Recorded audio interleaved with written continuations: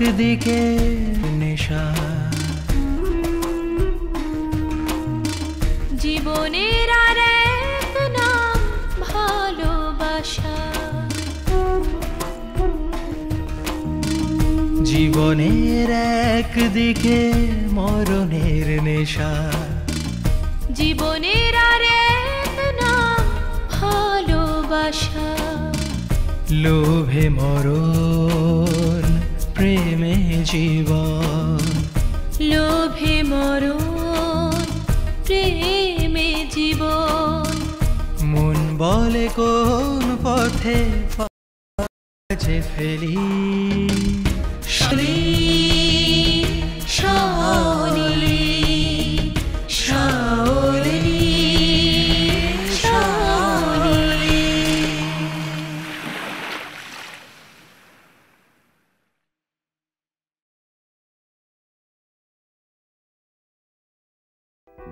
এই বাড়িটার ঠিকানা হল পনেরোর বি শশীনাথ গাঙ্গুলি লেন, কোনো নিয়ার চিলড্রেন্স পার্ক বর্তমানে এই বাড়িতে বাস করে শঙ্খ আর শাওলি।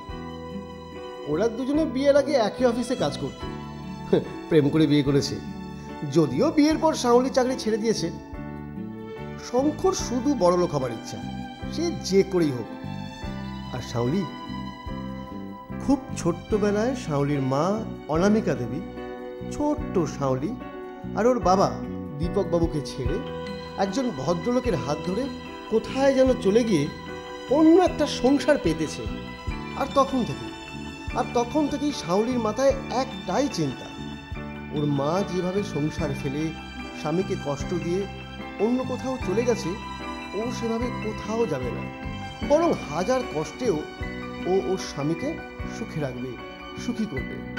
এনিওয়ে চলুন এবার শাওলির অন্দরমহলে যাওয়া যাক। এই শাওলি!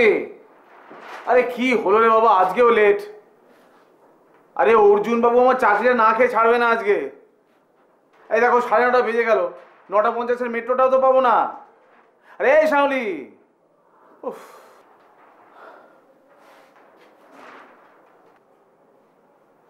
ঠিক পেয়ে যাবে।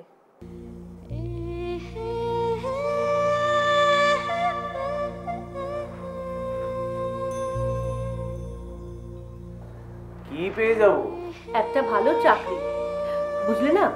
অর্জুন বাবু তোমার অফিসে দেরি করে যাওয়া নিয়ে যদি তোমাকে অফিস থেকে তাড়িয়েও দেন তোমার যা কোয়ালিফিকেশন তাতে অন্য অফিসে ভালো একটা চাকরি তুমি ঠিক পেয়ে যাবে। হুম। ওই সান্ত্বনার বদলে যদি থালাটা দাও না তাহলে খেতে পারি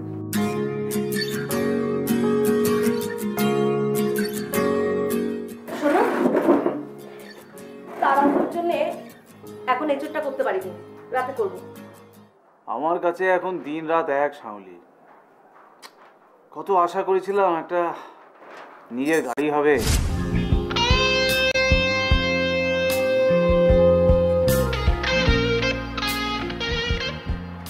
একটা এসি চেম্বার হবে। নিজের একটা ফ্ল্যাট থাকবে ফ্ল্যাট থাকবে বুঝলে? একটা সুন্দর সাজানো ফ্ল্যাট। Bank balance. ভাবতে ঠান্ডা হচ্ছে। ও হ্যাঁ হ্যাঁ হ্যাঁ আমি বলছিলাম কি। বেঁচে থাকার জন্যে আর বাঁচিয়ে রাখার জন্যে একটা মানুষের যতটুকু প্রয়োজন সেটুকুনেই সুখে থাকা উচিত। একটা চার চাকার গাড়ির চেয়ে মানুষের কাছে ভালোবাসার প্রয়োজনীয়তা অনেক বেশি হওয়া উচিত। ব্যাংক ব্যালেন্সের বদলে সুখকে সঞ্চয় করা উচিত। সুন্দর ফ্ল্যাটের দরকার নেই যদি শান্তি থাকে। এখানেই তো। সুন্দর সংসারের সার্থকতা। ধুর, কি হলো? উঠলে কেন? উঠিয়েই ছাড়লে তুমি। মাঝে মধ্যে ভাবি। কি ভাবো তুমি? হুম?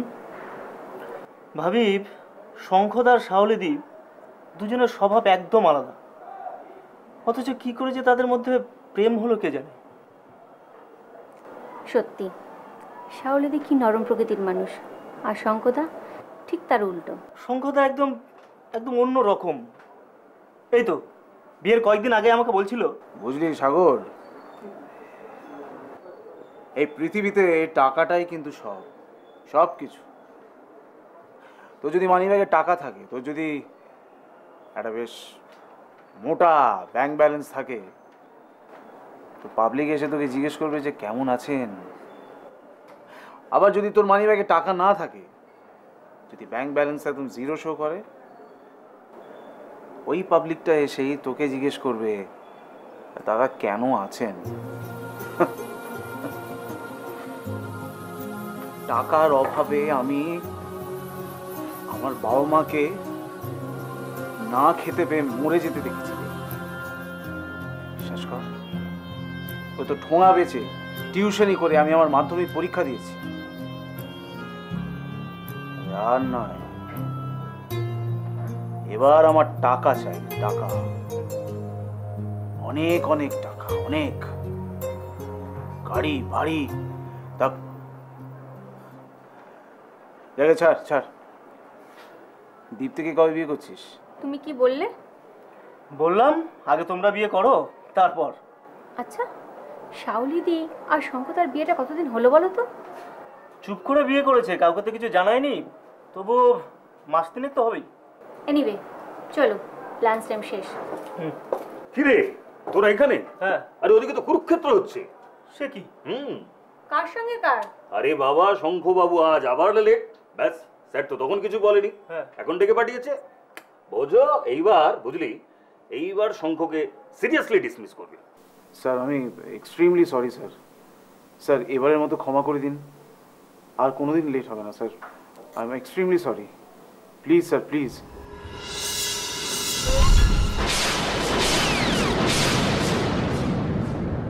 এই নিয়ে পরপর তিনবার আমি আপনাকে বললাম। কন্টিনিউ অফিসে লেট করে আসাটা আপনার একটা অভ্যেসে দাঁড়িয়ে গেছে। বিয়ের আগে আপনি মেসে থাকতেন, আপনার আসতে দেরি হতো, সেটা আমি মেনে নিয়েছিলাম। তারপর আমারই অফিসে আমারই রিসেপশনিস্ট শাওলির সাথে আপনি প্রেম করলেন, তাকে বিয়েও করলেন। ভাবলাম বিয়ের পর আপনার সমস্যাটা মিটবে, কিন্তু যে কে সেই। This very bad mister Chatterjee sir আসলে আমি যেখানে থাকি সেখান থেকে রিক্সা করে মেন রোডে এসে সেখান থেকে বাসে করে শ্যামবাজারে এসে I don't want any excuse for me আমি শুধু একটা কথা জেনে রাখুন কাল থেকে ততদিন আপনি এই অফিস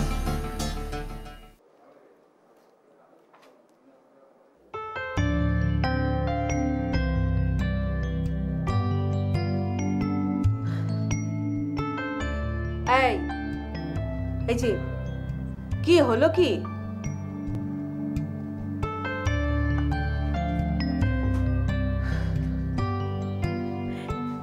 এই যে শুনছো? আরে কি হলো কি?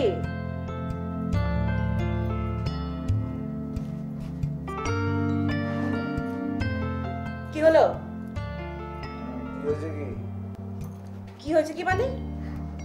পোশাক ছাড়া নেই। অফিস থেকে ফিরেই সন্ধ্যে সাতটার সময় ঘুমাচ্ছ? আজও কি ঘুমের ওষুধ খেয়েছো নাকি? আরে দূর ওই তো ভোর চারটের সময় উঠে সালার অফিসে যেতে হবে কাল। এখন থেকে একটু ঘুমের মহড়া দিয়ে নিচ্ছি। তোমার জন্য চা এনেছি।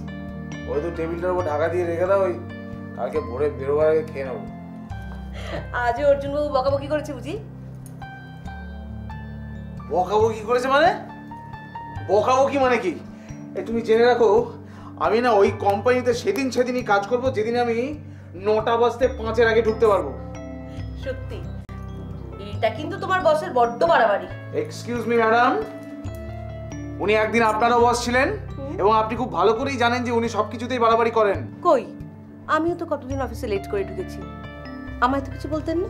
কিন্তু উনি আমাকে বলেন। বেশ ভালো করেই বলেন।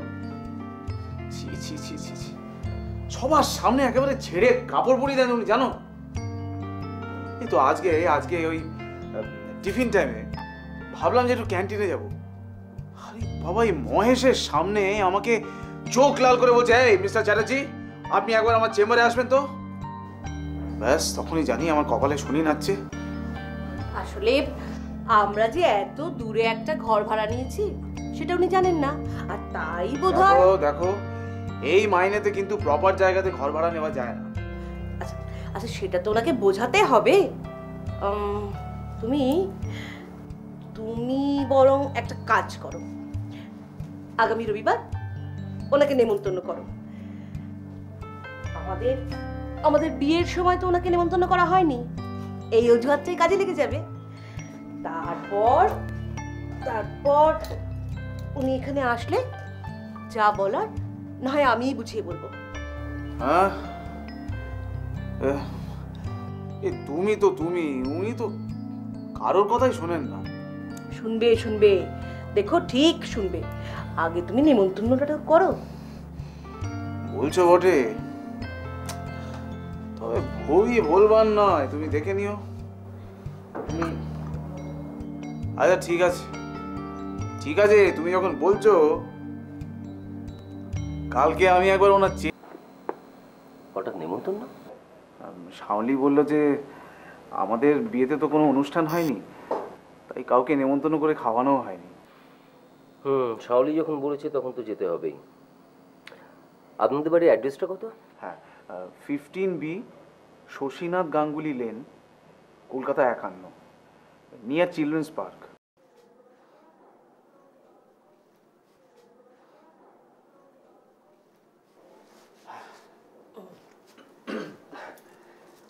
টেবিলের উপর অ্যালবামটা ছিল তাই দেখছিলাম। ওটা আমাদের পারিবারিক অ্যালবাম বিয়ের পর এ বাড়িতে আসার সময় সঙ্গে করে নিয়ে এসেছিলাম। ও। আচ্ছা ইনি কে? আমার বাবা। আর ইনি? আমার মা। নিন স্যার খান। হুম? খান। মিষ্টি? আরে না না মিষ্টি খাওয়া আমার একদম বড়। আমার হাই ব্লাড সুগার না স্যার সেটা বলে তো শুনুন না একটু তো খেতে হয়। না না না মিষ্টি আমার একদম চলবে না প্লিজ আমি মিষ্টিটা খাব না। একটা খান প্লিজ আমি অনেক আশা করে নিয়ে এসেছিলাম। ঠিক আছে এত করে যখন বলছেন। স্যার আসলে আমাদের একটা কথা ছিল মানে একটা অনুরোধ ছিল। বলুন। আসলে আমাদের এখান থেকে মেন রোডটা অনেক দূরে। রিক্সা করে মেন রোড যেতে হয়। অনেক সময় অনেক সময় স্ট্যান্ডে রিক্সাও থাকে না। তারপর বাস আসলে তাই বলছিলাম কি ওই অফিসের টাইমটা যদি নটার বদলে দশটা করেন ও তাহলে দুমুঠো ভাত খেয়ে যেতে পারে। মানে মানে আপনার যদি কোনো অসুবিধা না হয়। হুম আপনি যখন বলছেন তখন যতই অসুবিধা হোক আমি ঠিক ম্যানেজ করে নেব। ওকে মিস্টার চ্যাটার্জি কাল থেকে আপনি সকাল দশটায় অফিসে যাবেন। আচ্ছা একটা কথা বলব? একটা কাজ করছেন না কেন? আজকাল দু আড়াই লাখ টাকায় খুব ভালো সেকেন্ড হ্যান্ড গাড়ি পাওয়া যায়। তো এটা কিনে নিচ্ছেন না কেন? কি কি যে বলেন স্যার যা মাইনে পাই তাতে সংসার চালাতেই ঠিক আছে কালকে লাঞ্চ আওয়ার্সে আমরা একবার বেরোবো। আমি আপনাদের একটা ভালো কন্ডিশনের সেকেন্ড হ্যান্ড গাড়ি কিনে দেবো। ওকে গাড়ি? হ্যাঁ। ড্রাইভারের মাইনে নিয়ে চিন্তা করবেন ওটা কোম্পানি পে করবে। এবার নিশ্চয়ই আপনার অফিস যেতে কোনো অসুবিধা হবে না। মানে মানে। আসলে কি জানেন? শাওলি ম্যাডামের কোনো অসুবিধা হোক সেটা একদমই আমি পছন্দ করি না। কি? আপনি খুশি তো? হ্যাঁ স্যার। ভীষণ খুশি। Thank you thank you sir. আজ তাহলে উঠি। কালকে অবশ্যই আমার সঙ্গে অফিসে দেখা আর একটা কথা। শাওলি ম্যাডাম অফিসে আপনাকে আমি অনেকবার দেখেছি। কিন্তু আজকে আপনাকে একদম অন্যরকম লাগছে। আজ যেন এক নতুন শাওলি ম্যাডামকে দেখতে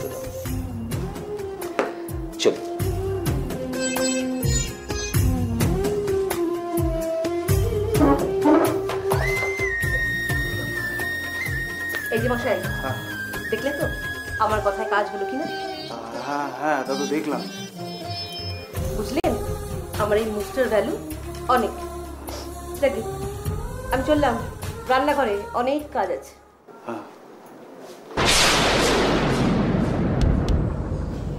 সত্যি তো? শাওলি এটা তো আমার মাথায় আসেনি। হ্যাঁ? আরে বড় হবার সিঁড়ি ঘরে থাকতে আমি সেটাকে ব্যবহার করিনি।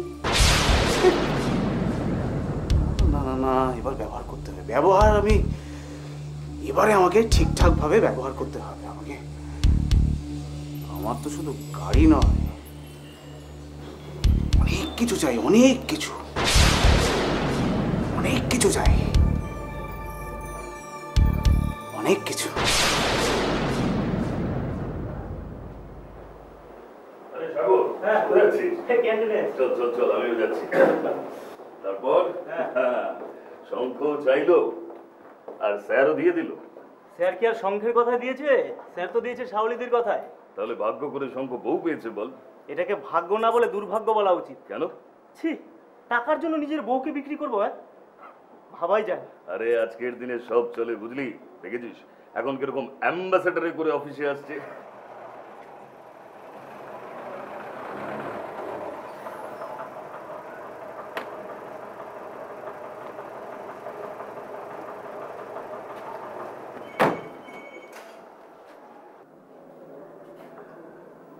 May I come in sir আসুন।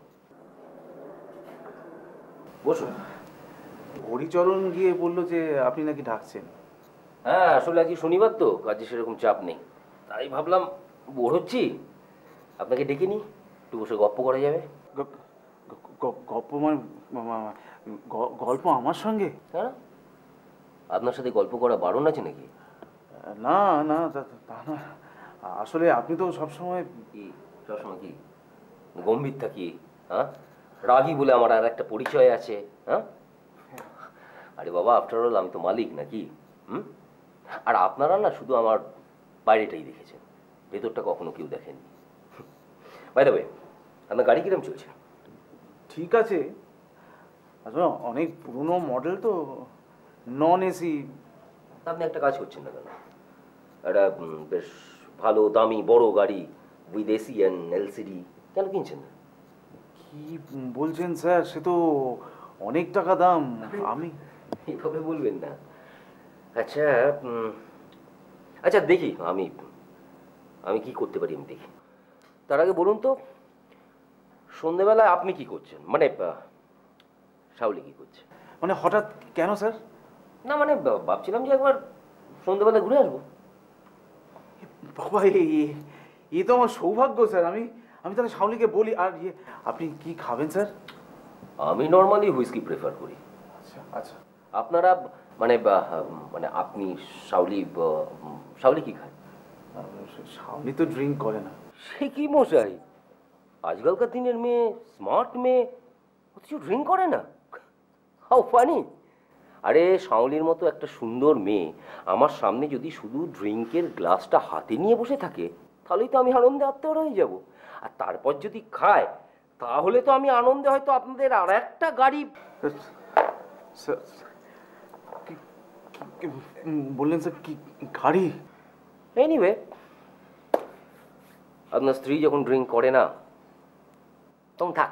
না না কি কি বলছেন স্যার? থাক- থাকবে কেন? আমি আমি গিয়ে ওকে বলব ড্রিঙ্ক করতে করবে? আপনি কখন আসেন স্যার? আমি ওই হ্যাঁ সাতটা সাড়ে সাতটা নাগাদ পৌঁছে যাব। আপনি যান। ও এক সেকেন্ড দাঁড়া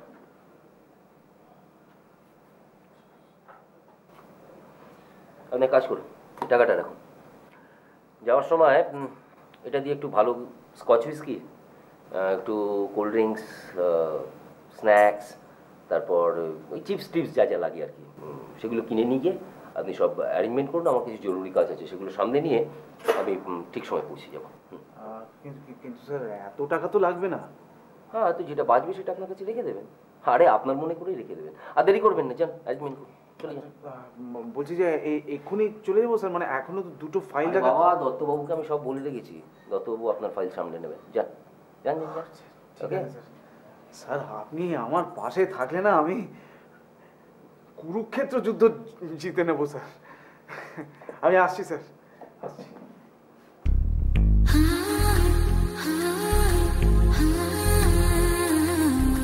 জিতবে কি জিতবে না সেটা আমি জানি না।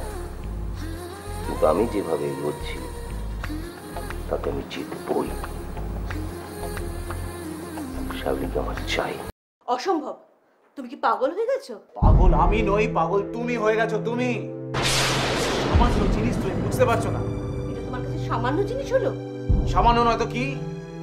আরে বসের সামনে বসে একটুখানি মদ খাবে। তো কি হয়েছে তাতে? আজকাল মদ খাওয়াটা কোনো ব্যাপার? শঙ্খ? শঙ্খ তুমি কি বলছো? তুমি বুঝতে পারছ?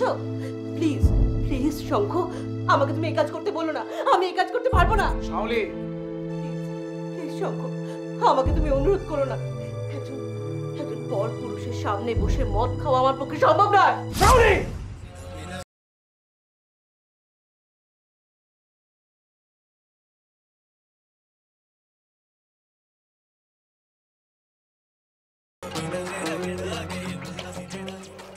তুমি আমার গায়ে হাত তুললে? হ্যাঁ তুললাম তুললাম। দু ঘণ্টা হয়ে গেছে দু ঘণ্টা দেখো। একই কথা নিয়ে তুমি ঘ্যান ঘ্যান ঘ্যান ঘ্যান করেই যাচ্ছ। শঙ্খ শঙ্খ আমি তোমার স্ত্রী। জানি জানি জানি এটা জেনেও একজন পর পুরুষের সামনে আমাকে এই জাস্ট শাট আপ এই ভুলে যেও না। তোমার স্বামী যে অ্যাম্বাসাডারটা চড়ে সেটা কিন্তু ওই পরপুরুষের দেওয়া। আর দুদিন পরে যে দামি গাড়িটা চলবে না, সেটা কিন্তু ওই পরপুরুষই দেবে আর এই পরপুরুষের সামনে বসে একটু মদ খেতে মানে এত লজ্জা করছে। হ্যাঁ করছে। আমার ভীষণ লজ্জা করছে। ওই পর পুরুষটার পাশে বসে মদ খেতে আমার যত না লজ্জা করছে, তার চেয়ে অনেক বেশি লজ্জা করছে তোমাকে স্বামী ভাবতে। বিয়ের সময় প্রত্যেক স্বামী তার স্ত্রীদের বলে, আমি তোমার ভাত কাপড়ের ভার নিব। তুমিও বলেছি, এখন দেখছি, তুমি শুধু আমার ভাত কাপড়ের ভার নাওনি, সঙ্গে আমার অস্তিত্বটা বিক্রি করার ভারও নিয়েছে। তোমাকে আমি হাত জোর করে বলছি। চুপ করে থাকো তুমি। আজকে আমি বলব আর তুমি শুনবে। স্ত্রী হিসেবে তোমার ব্রত ছিল যে তোমার স্বামী যাতে ভালো হয়, সেই মতো কাজ তুমি করবে। তাহলে আজ তুমি আমার কথা শুনছো না কেন? কান খুলে শুনে রাখো। অর্জুন বাবু এলে আমি যা যা বলব তুমি ঠিক তাই তাই করবে।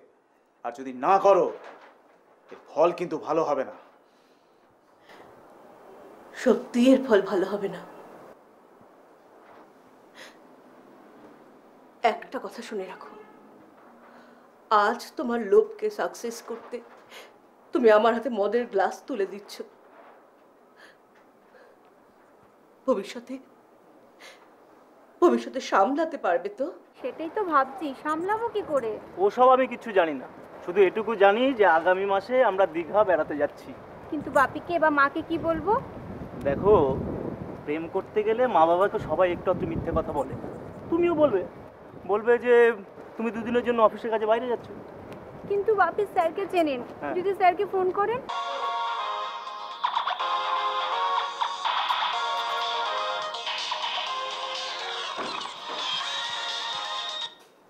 হ্যালো। না আমি একটু ব্যস্ত আছি। আরে না না এক লাখ কেন? এক কোটি টাকার কাজ আসলেও আমার কোনো ইন্টারেস্ট নেই।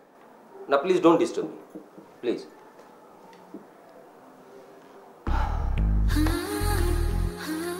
আজ আমার কিছু কিছু power achievement time good time কি হলো শাওলি আপনি নিচ্ছেন না কেন? হ্যাঁ হ্যাঁ নিশ্চয়ই নেবে। নিন নিন। হ্যাঁ। নিন নিন নিন। হ্যাঁ।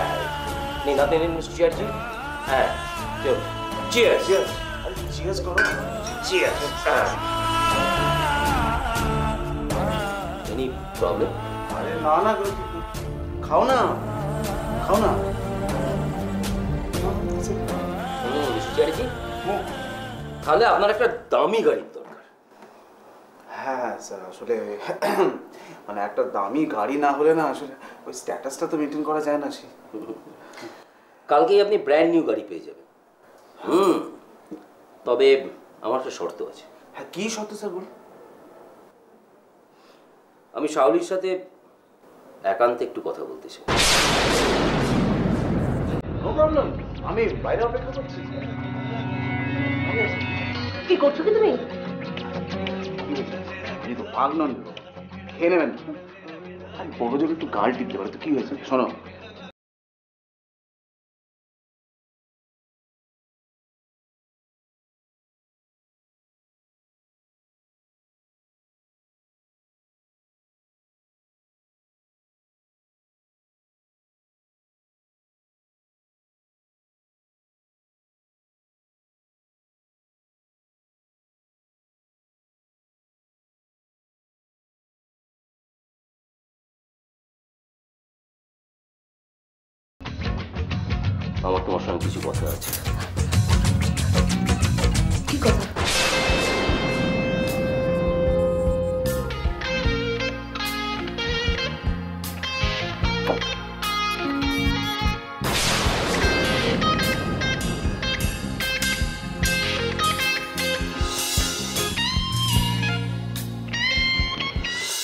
সাগর।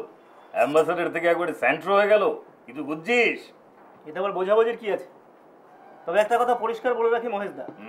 এই শঙ্খদা যেটা শুরু করেছে তাতে হিতে না বিপরীত হয়। মহেশদা হুম। স্যার বললেন ডেবিট ক্রেডিটটা একটু মিলিয়ে রাখতে। ওকে। তোমার টেবিলে ফাইলটা রেখে এসেছি। ঠিক আছে।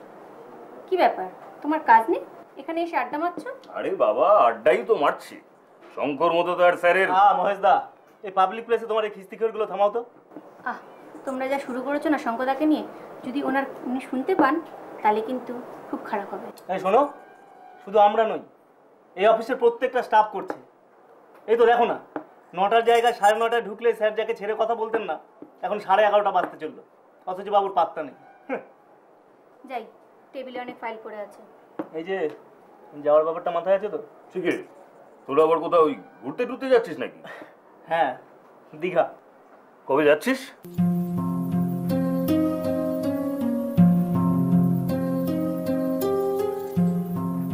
আজ। সে কি? দেখতে দেখতে একটা বছর পেরিয়ে গেল। আমি তো ভুলেই গিয়েছিলাম যে আজই আমাদের বিবাহ বার্ষিকী anyway Shaoli many many happy return of the day বাবা, নিজের বউকে বিবাহ বার্ষিকীতে শুভেচ্ছা জানাচ্ছ? না, কোনো প্রতিবেশীকে তার বিবাহ বার্ষিকীতে শুভেচ্ছা জানাচ্ছ? আসলে কি জানো শঙ্খ, মানুষটা তুমি একই আছো, শুধু আকারটা ওকার হয়ে গেছে। বিয়ের আগে ছিল লাভ মানে ভালোবাসা, আর বিয়ের পর হয়েছে লোভ মানে জেতার আশা। আরে, তুমি আমাকে যা খুশি তাই বলতে পারো। আমার কিচ্ছু এসে যায় না। I just want to reach my target সেটা বউ বেঁচে? প্লিজ স্টপ ইট আরে তুমি কেন বুঝতে পারছ না যে আজকের দিনে একটা সাজানো ফ্ল্যাট একটা গাড়ি ব্যাংকের টাকা পয়সা সচ্ছলতা এগুলো খুব প্রয়োজন। আর সামান্য একটু হেসে যদি সেটা পাওয়া যায় তাতে ক্ষতিটা কি? ক্ষতিটা মনুষ্যত্বের Shankha please please try to understand me oh my god আমি যদি তোমাকে বুঝতে চাই না তাহলে এই গোটা জীবনটা আমার কাছে একটা বোঝা হয়ে যাবে বোঝা। এনিওয়ে আজকে একটা নতুন ফ্ল্যাট দেখতে যাচ্ছি। পছন্দ হলে কিনে নেব।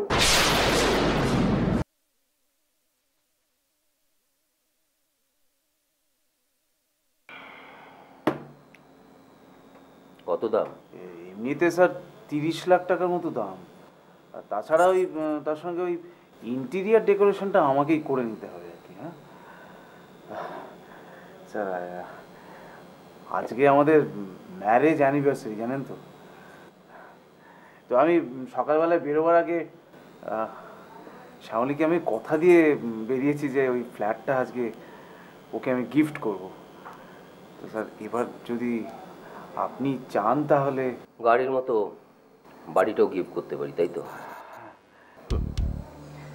ঠিক আছে, মিস্টার চ্যাডি আপনি একটা কাজ করুন, আপনি এখন বাড়ি চলে যান।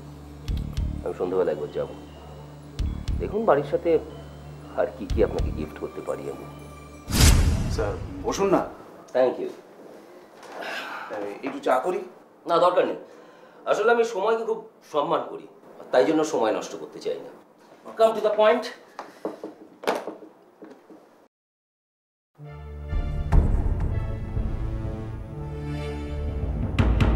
এখানে আপনার পঁয়ত্রিশ লাখ টাকা আছে ফ্ল্যাটের জন্য। আর এই কাগজটা ভালো মতো পড়ে সাইন করে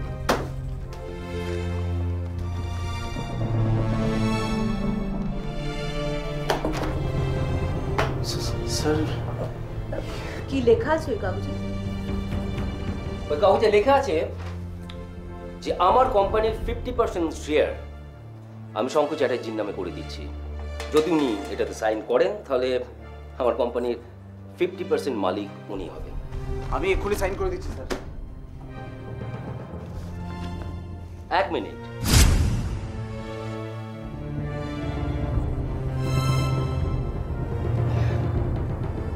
ওটায় সাইন করবার আগে এই পেপারটায় সাইন করতে হবে।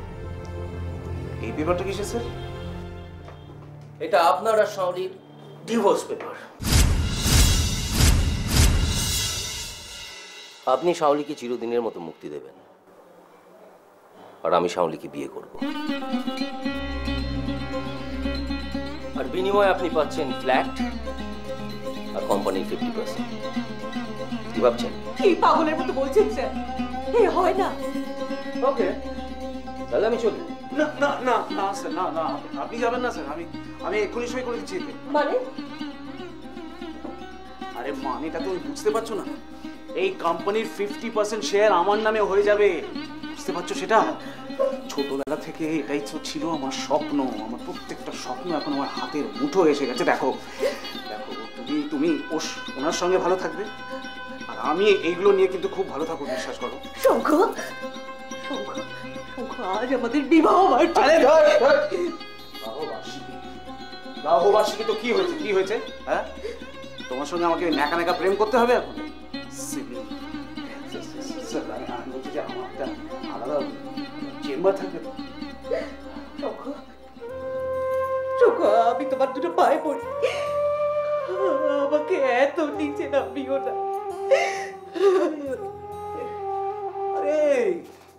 আরে তোমাকে আমি নিচে নামালাম কোথায়? তুমি ভেবে দেখো, তোমাকে আমি কত উপরে উঠিয়ে দিচ্ছি, কত উপরে? এই সামান্য একটা কর্মচারীর বেডরুম পাল্টিয়ে তুমি যাচ্ছ মালিকের বেডরুমে। আজ তোমার কাছে বেডরুম পাল্টানো আর পোশাক পাল্টানো দুই সমান হয়ে গেছে। আমাকে বেডরুম পাল্টাতে না বলে নিজের চরিত্রটাকে একটু পাল্টাও। তাহলে দেখবে তাহলে দেখবি সব আবার আগের মতো হয়ে গেছে। আরে আমি তো চাই না যে সবকিছু আগের মতো হয়ে যাক।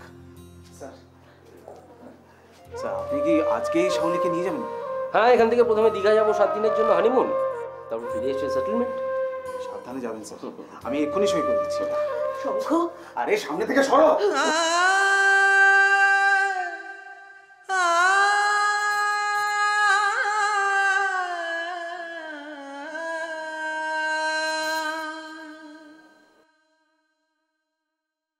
এই নিন স্যার সাইন করে দিয়েছি।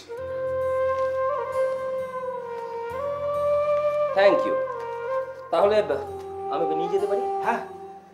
গুড ও কাল থেকে আপনি নতুন চেয়ারে বসছেন তার জন্য কনগ্রাচুলেশন থ্যাংক ইউ স্যার আমি তো সাত দিন থাকব না আপনি কিন্তু সমস্ত ব্যাপারটা ঠিক মতো সামলে নেবেন। একদম একদম স্যার। আর কোম্পানির অন্যান্য স্টাফদেরও আমি বলে দিয়েছি তারাও আপনাকে স্যার বলেই ডাকবে। থ্যাংক ইউ স্যার চল স্যার। না না আমি ওকে ছেড়ে যাব না। এই ন্যাকামি করো না যাও যাও যাও যাও প্লিজ যাও যাও যাও। আমি কিছুতেই যাব না। তীরে এসে তরি প্রবাস না যা! নিয়ে যাচ্ছে ওকে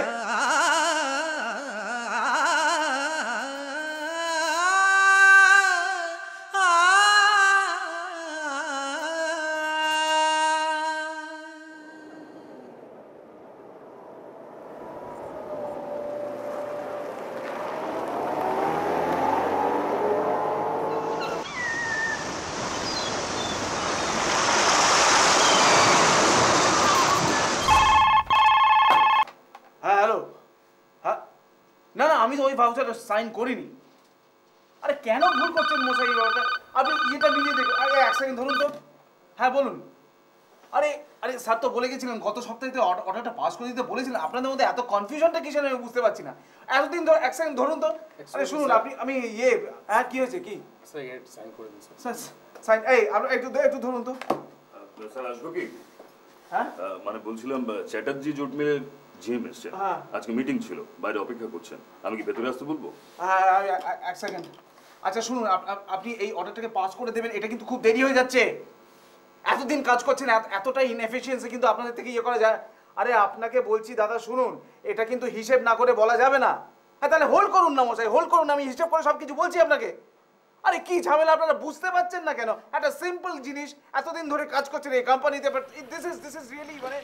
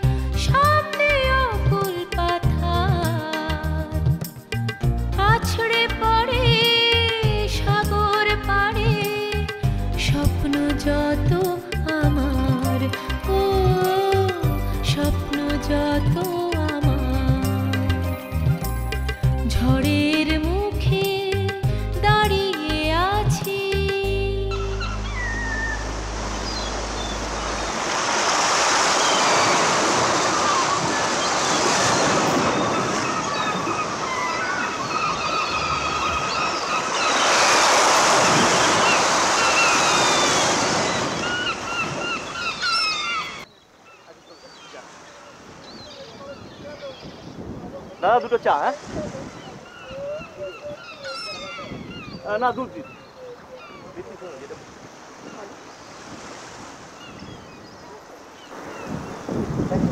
দীপ্তি? শাওলিদি স্যারের সাথে?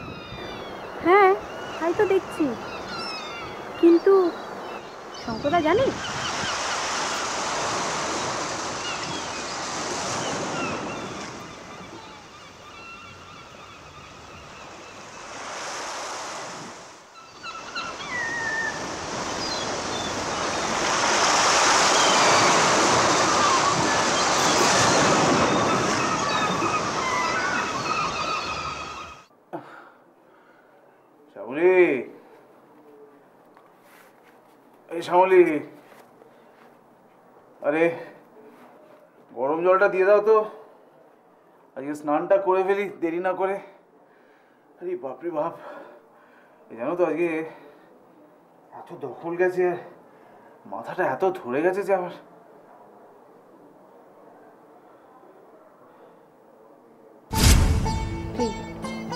যন্ত্রণা একটু কম মনে হচ্ছে?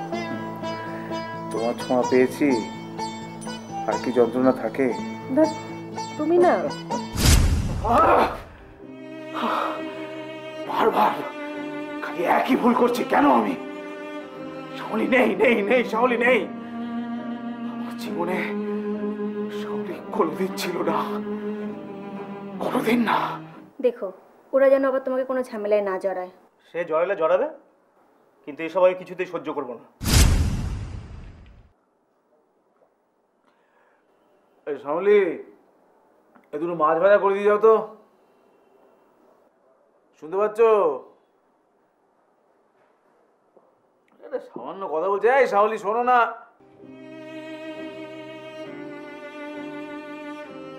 আরে কি হলো শঙ্করবাবু? শাওলিকে ডাকছেন? কিন্তু শাওলি যে নেই শঙ্করবাবু। শাওলিকে আপনি তাড়িয়ে দিয়েছেন। তাড়িয়ে দিয়েছেন আপনি, তাড়িয়ে দিয়েছেন। একবার তাকিয়ে দেখুন শঙ্করবাবু।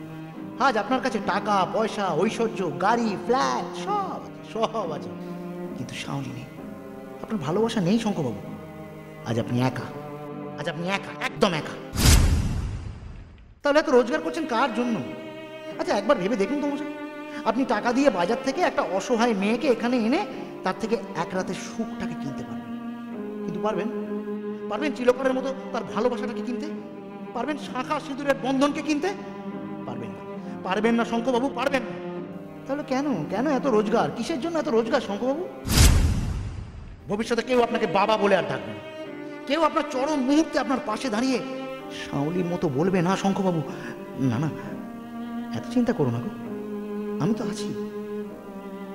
কেউ বলবে না। কেউ বলবে না শঙ্করবাবু আজ আপনি একা।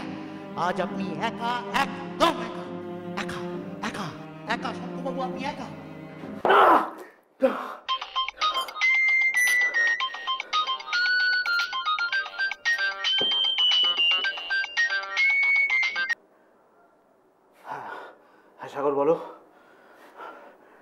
হ্যাঁ? হোটেলে কোন হোটেল?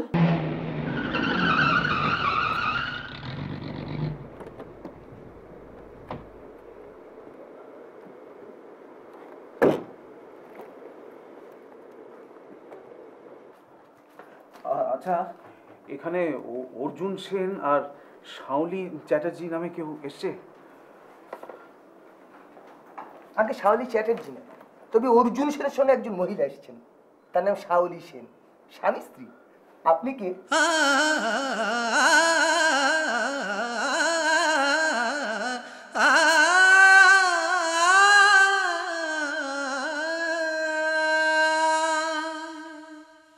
কি? বললেন না তো আপনি কে? আমি ভাই। আমি আমি অর্জুন সেনের ভাই। আচ্ছা ওরা কত নম্বর রুমে আছে? আগে দুশো তিন পাশের উঠে খালি আছে। আপনাকে দিয়ে দিই? না আমি একটু ওদের সঙ্গে দেখা করতে পারি কি? আগে আপনি রুমে গিয়ে ওয়েট করুন ওরা ফিরলে খবর দেবো। ফিরে মানে কোথায় গেছে? আগে বলে তো যায়নি তবে সমুদ্রের পাড়ে হয়তো ঝাউবনের হাওয়া খেতে গেছে। অজয় স্যারের লাগেজটা দুশো চার নম্বর রুমে দিয়ে আয়।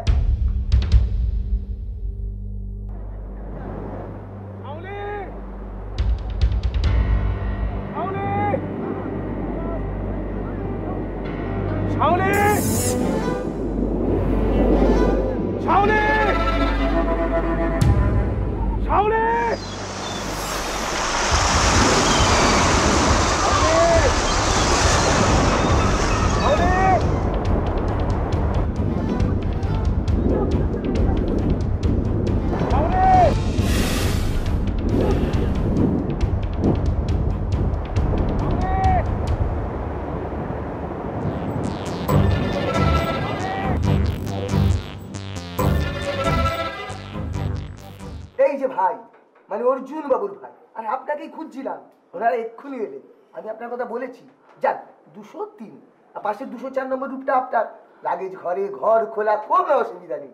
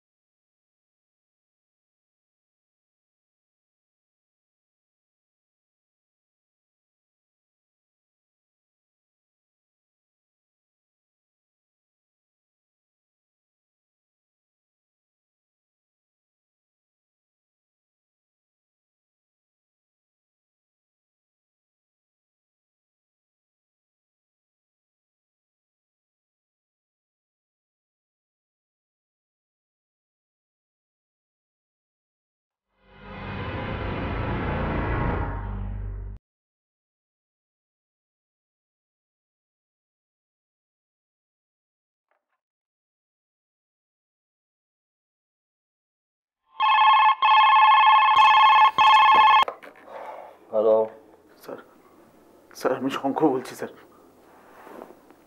স্যার শ্যামলিকে একটু দিন না প্লিজ। স্যার দয়া করে একটু শ্যাম- শ্যামলিকে দিন না স্যার। ব্যস্ত আছে।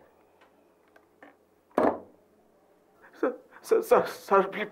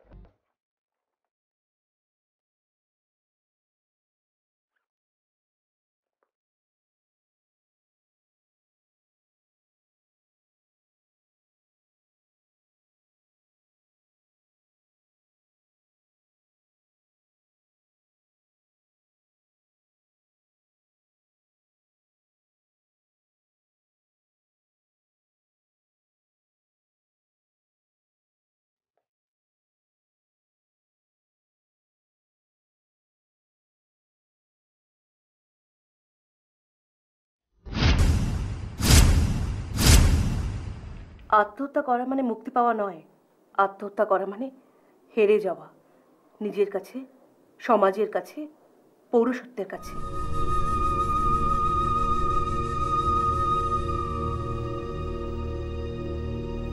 তুমি তো এটাই চেয়েছিলে, শঙ্খ। ভুল ভুল ভুল চেয়েছিলাম আমি। আমি সব ভুল চেয়েছি। একেবারে একা জানো এই গোটা পৃথিবীতে আমি একদম একা। সে কি? তোমার নতুন গাড়ির চাকা এত তাড়াতাড়ি পাংচার হয়ে গেল? তোমার নতুন ফ্ল্যাট এত তাড়াতাড়ি ভেঙে গেল? তোমার ব্যাংক ব্যালেন্স তোমার এসি চেম্বার এত তাড়াতাড়ি গুড নাইট জানিয়ে দিল? আসলে কি জানো? তোমার লোভ আজ তোমাকে এই জায়গায় এনে পৌঁছেছে।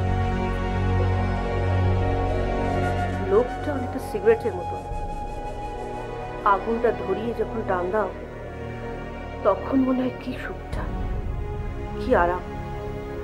কিন্তু কিন্তু ওটা ক্যান্সার, সাক্ষাৎ মৃত্যু, আর আজ যে ক্যান্সারে তুমি আক্রান্ত।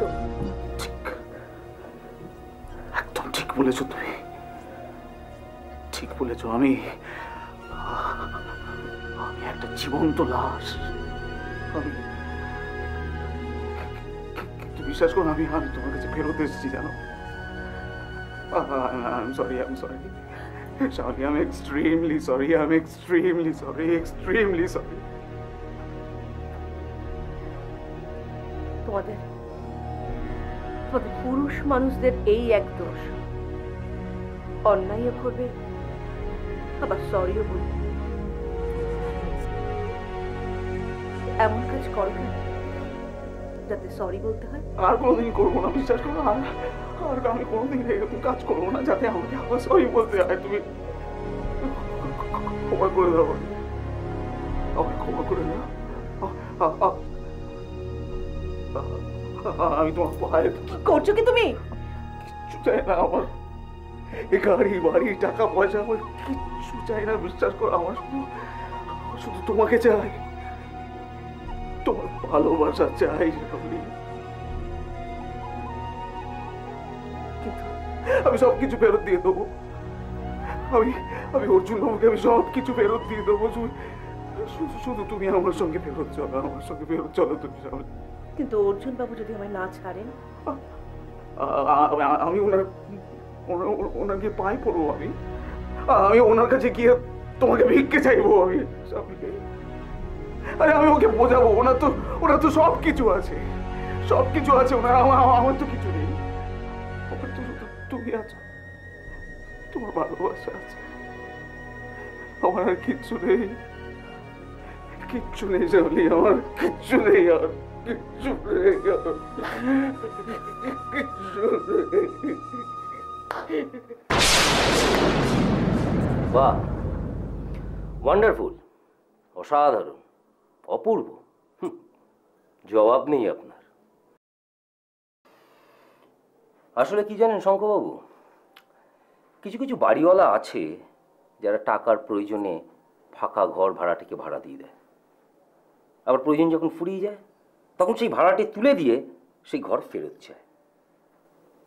তা আপনার স্ত্রী কি সেই ফাঁকা ঘর নাকি, যে যখন টাকার প্রয়োজন পড়বে তাকে ভাড়া দিয়ে দেবেন? আর প্রয়োজন ফুরিয়ে গেলে তাকে ফেরত চাইবেন আপনার একটা ফটো দেবেন তো মশাই? আমি একটু বেশ বড় করে বাঁধিয়ে রাখব। আমি জানি স্যার, আমি আমি অনেক অন্যায় করেছি। এ অন্যায়ের কোনো ক্ষমা নেই। আপনার প্রশ্নের উত্তর দেওয়ার কোনো ক্ষমতা নেই। আমার আমার আমার শাওলির চোখের দিকে তাকিয়ে কথা বলবার ক্ষমতাও নেই। তো একটা কথা বলব স্যার, আমি আমি আমি ভীষণ অসহায় জানেন আমি আমি আমি একেবারে একা মানুষই তো ভুল করে না আচ্ছা স্যার মানুষ তাকে ক্ষমা করে না বলুন স্যার করে না আমাকে একটা দেবে না বলুন না আরে দেবে দেবে, নিশ্চয়ই দেবে। আমি আপনাকে বাড়ি গাড়ি টাকা কোম্পানির ফিফটি পার্সেন্ট শেয়ার সব কিছু দিতে পারলাম। আর আমার বোন হয়ে ও আপনাকে একটা সুযোগ দেবে না।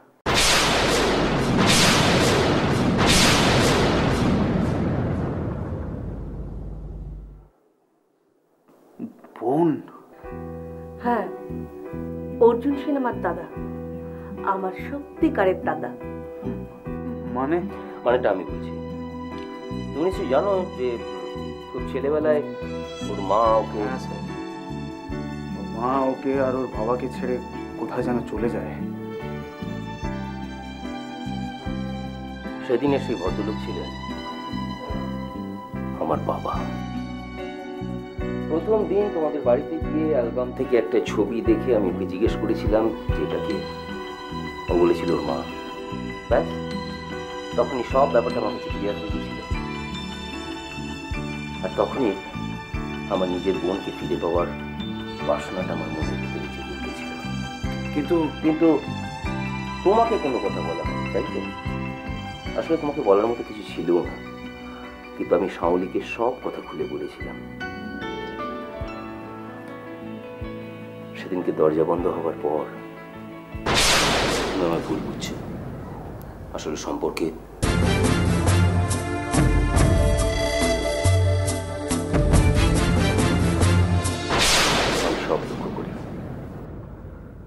আমি লক্ষ্য করি যে একটু একটু করে তোমার লোভ প্রতিটা দিন বেড়ে চলেছে। আমার এই ছোট্ট বোনটার যে কোনো দিন তুমি একটা বড় ক্ষতি করে দিতে পারো। তাই আমি আর শাওলি আমরা দুজনে মিলে এই নাটকটা করি। তোমাকে সুপথে ফিরিয়ে আনবার জন্য। তার কারণ আমি চাই আমার বোনটা সারা জীবন সুখে থাকুক। আর একটা কথা এই যে টাকা, পয়সা, গাড়ি, বাড়ি, এই সমস্ত কিছু আমি কিন্তু শাওলিকে বিয়ে করবার জন্য তোমায় দিইনি। এই সব কিছু দিয়েছি আমি আমার ভগ্নিপথকে সরি দাদা। আমার বাড়িতে এমন একটা সোনার খনি থাকতে, আপনার দেওয়া খাদ মেশানো এক ভরি সোনা আমি নিতে যাব কেন, দাদা? এক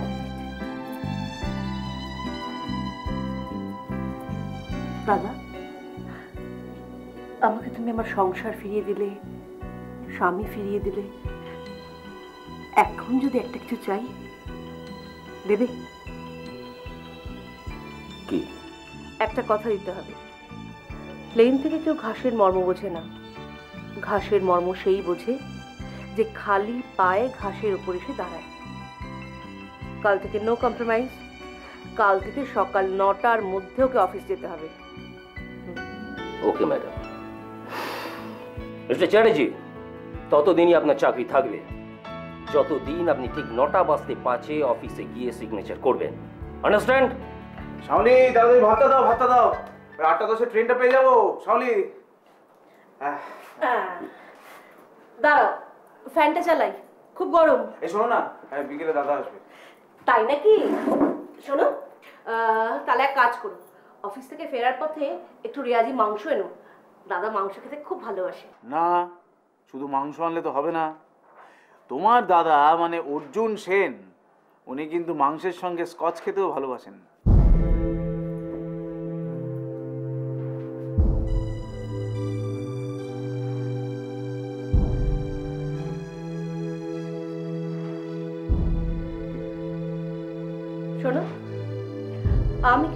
আগে থেকেই বলে দিচ্ছি। আমি কিন্তু তোমার বসের সাথে বসে মদ খেতে পারব না।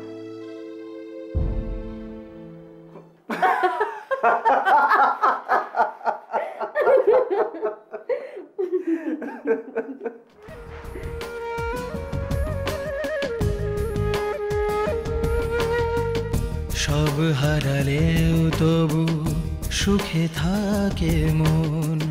যদি যায় প্রেম দিয়ে গড়ায় জীবন, লোভে মরণ, প্রেমে জীবন, লোভে মরণ, প্রেমে জীবন।